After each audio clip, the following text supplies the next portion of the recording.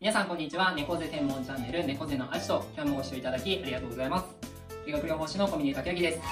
今日はですねこのチャンネル史上初かなと思います。コンディショニングのアプローチ方法をですねちょっと皆さんに一部公開しようかなというふうに思っております。内容としては肩が上がりやすくなる鎖骨のモビライゼーションという手技をですね皆さんにお伝えしようと思います。手の上がりがですねしっかりと上がることで背骨が伸びやすくなるという運動連鎖というのがあります。運動連鎖はねこのチャンネルでも何度も紹介をさせていただいてるんですけれどもこの手の万歳ですね。万歳にですね実は鎖骨の動きっていうのがすごく重要な役割を担っているんですね。なので鎖骨の動きをちょっと変えるだけでですね肩の上がりがスッといったりするので今日はですねそんな様子を一回見ていただいてですねそして最後にご自身でできるですねセルフで鎖骨をモビライゼーションするような手技をですねお伝えしていこうと思いますので最後までぜひご覧いただければと思います。では早速始めていこうと思うんですけれども今日はですねセッション中の様子ということでですねアシスタントに来ていただいております。お願いします。アシスタントのチャンアイです。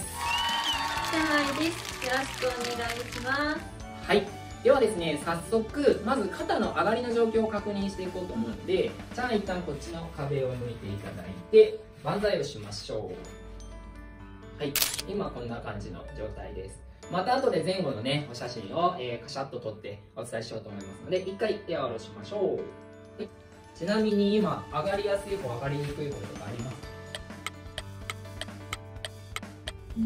右の方があ OK ですしたら右に対してアプローチするので一回仰向けになりましょう。では早速やっていきますね。一瞬で終わるのでお見逃しのないようにお願いします。できない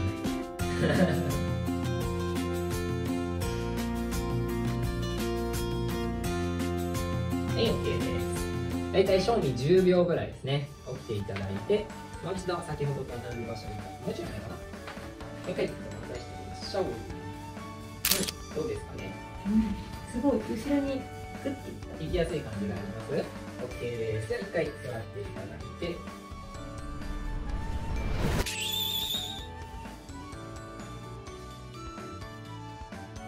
はい、ちょっとですね、この後細かくどういう風にやるのかっていうのを、えー、少しアップで、はい、見えるような形でお伝えをしていきます。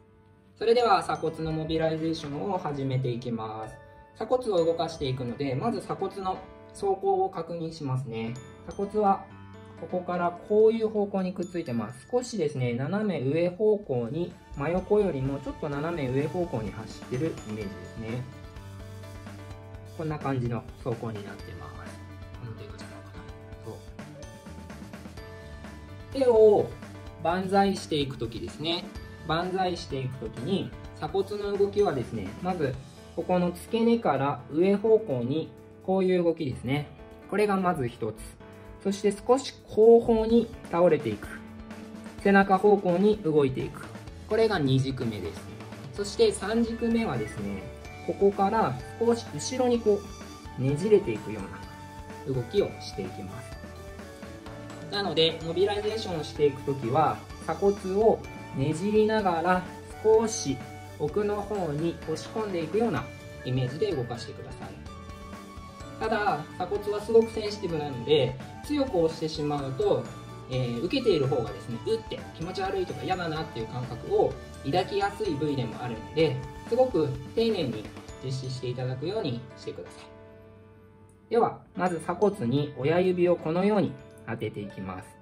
まずはですね、ここの胸骨に近い部位に当てていただいて、この親指に対して指3本、人差し指、中指、薬指を当てて、この手で軽く押し込んでいくように、そして徐々に徐々に外側に向けて動かしていきましょう。そしたらもう一度内側に軽く戻って、何度か動かしていきましょう。押されてる感じ、そんな強くないの分かりますかね？だいたい2回から3回ぐらいですね。10秒ぐらいで鎖骨のセットは完了します。それではですねここからはお待ちかねのセルフでやる鎖骨のモビライゼーションについてお伝えしていきます。チャーレは今右側ばっかりアプローチしたので左側でやってください。はい。皆さんは、えー今回片側しか紹介しませんが必ず両方やるようにしてくださいね。左手を一回万歳してもらって。今の上がりやすさ上がりにくさね感じてみてもらってそしたらですね鎖骨にこのままもうざっくりとベタっと触れます。そうそうそうそうそうそうこういう感じ。で左手を万歳していくときに持っている手を少し上にギュッとずらすだけ。そうそうそうそうそう。万歳していくタイミングでこっちの手をそうで下ろしてここからよいしょって上げてくだけ。少しねもう皮膚を上にちょっとつるぐらいのイメージで OK です。そうそうそう。簡単でしょう。こんなんで変わります。なんで変わんのかよっていうね クレームが来るかなと思うんですけど。こんなんでね人の体って変わるんですよ皆さん。もう10回ぐらいやったかな、OK で1回楽にしましょう。そしたら手1回下ろして1回元の位置に戻りますはいじゃあそれではもう一回左手上げてみてください。楽でしょう。そう。これねあ手を下ろしていただいても OK です。これね本当に変わるので動画見ながら本当に皆さんやってください。やったらね本当に分かりますので。で、えー、ともう一回おさらいします。しっかりと鎖骨に沿うように手をバシッと当ててもらったら万歳のタイミングでさっきの鎖骨の動きに合わせて手を上にかつちょっと鎖骨を乗り越えるようにこういう感じで動かしていく。はい。で何度か上げるときにあごめんなさい。そう。でやっていただくだけで変わります。人にやってもらうとね結構力強さによって嫌だなって感じることもあったりするのでまずはですね動画を見ていただいている方はですねご自分で鎖骨が動くようになるとどれだけ肩の動きが変わるのかっていう点をねっかりと確認していただいて肩を上げていく。万歳と同時に背骨も同時に伸ばしていくようにですね猫背を改善していっていただければと思います。今日はアシスタントありがとうございました。はい。ありがとうございました。今日の動画が参考になったよという方はぜひ高評価ボタンを。そして、えー引き続きですね猫背に特化した健康情報を上げていきますのでまた下のですね猫ちゃんマークからチャンネル登録をしていただければと思いますそれではまた。ちょっと立ってもらっていいですか？でちょっともう一回行きましょうか。